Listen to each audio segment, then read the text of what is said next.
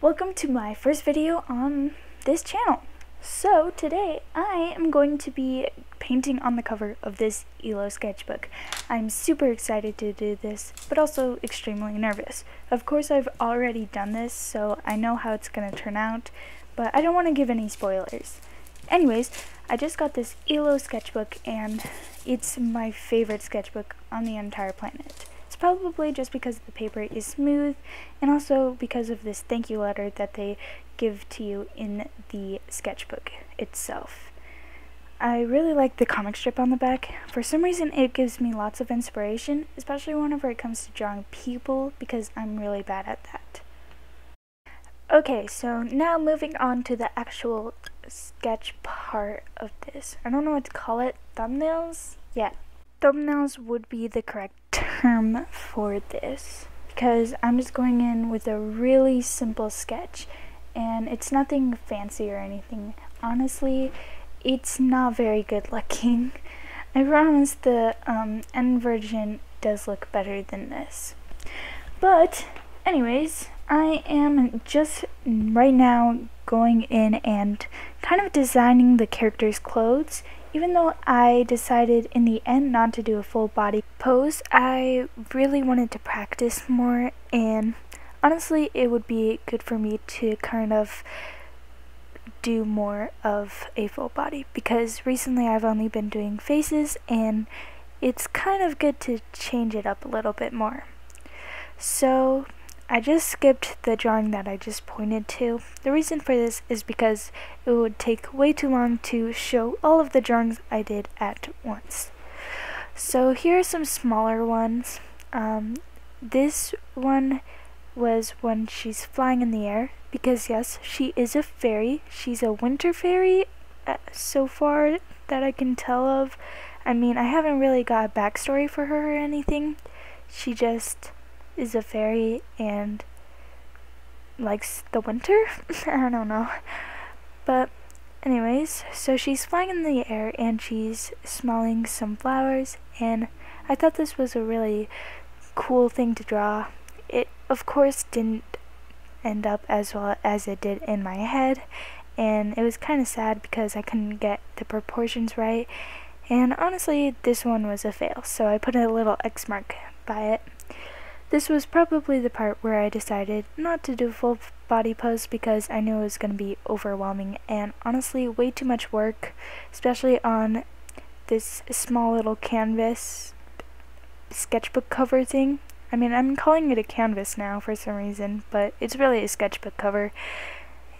I have the sketchbook cover that is 8x8, so not the smallest thing on the planet, but also not the biggest thing ever.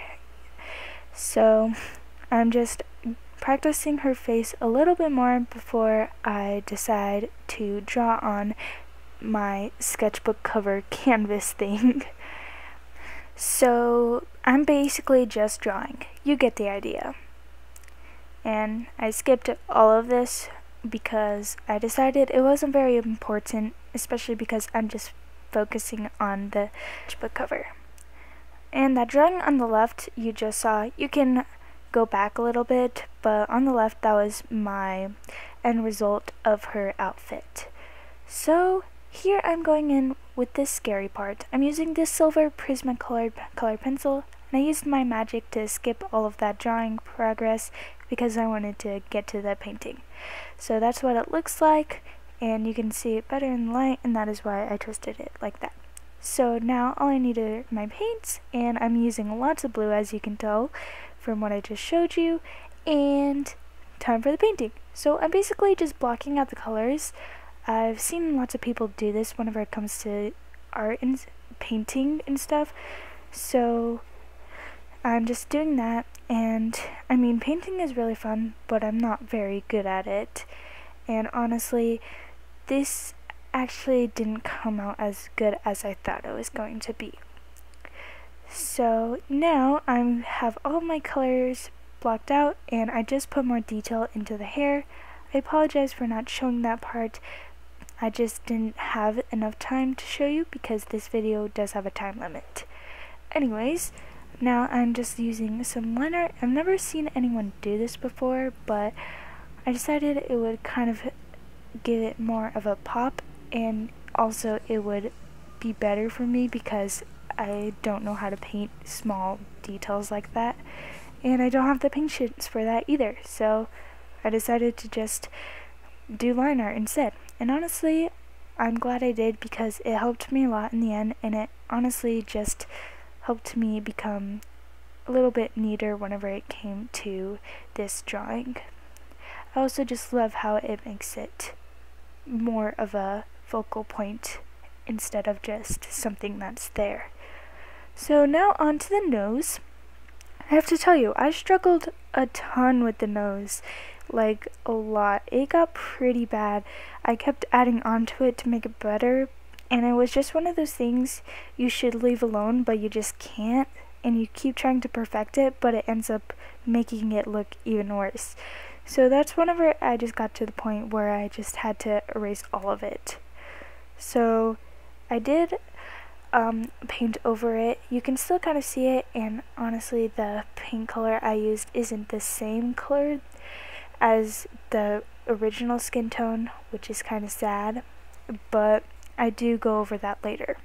So I just did all the line art onto the ear and here is where I decided to clean it up a little bit because it was looking a little bit messy, especially around those edges as you can see. So I just went in with a lighter color from the rest of the drawing and did an outline of it. I don't know exactly what gave me this idea. Kind of like how whenever you cut out something, you can cut around the edges to make it have like a bubbly look uh, I don't know what the word is, but I definitely think it did give it a better and cleaner kind of ending to it. I don't know how to call it, but oh well. so here I'm just going to clean it up with better line art than it was before and after the line art you'll definitely see the big improvements and why I added in this outline because it looks pretty nice if you ask me. This part definitely took the longest out of everything. Honestly, I kind of got bored a few times and even before this I was getting really bored and I took a few breaks from the whole painting on my sketchbook idea for a while and it took me a long time to just finally convince myself to do this in the first place. So you can imagine how long it took to actually do the thing itself.